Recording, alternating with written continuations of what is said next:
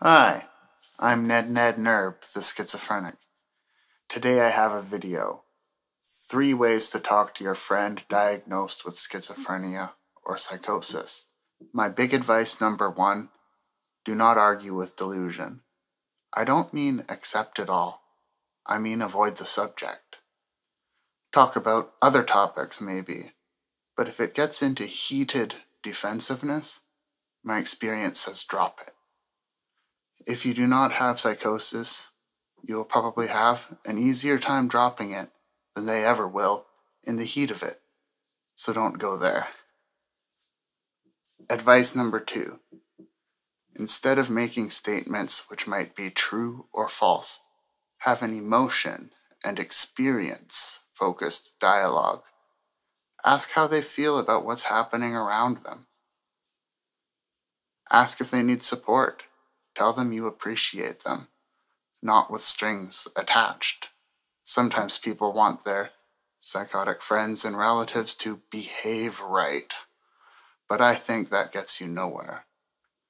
Calming down and talking out feelings is way better than blaming or incarcerating for specific behaviors. Advice number three. If your friend is telling long stories about experiences, I think comments like, that's so strange, or I can't imagine that happening, is better than, that's impossible, or that didn't happen. I say this in the same vein of not arguing delusion content, advice number one, and being in emotional rapport, advice number two.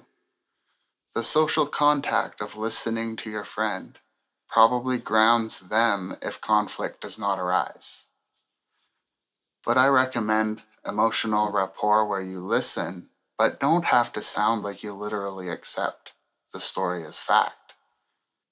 In conclusion, there are many conversations probably happening between your friend and their other peers and relations. So they are likely getting a mixture of disbelief and acceptance.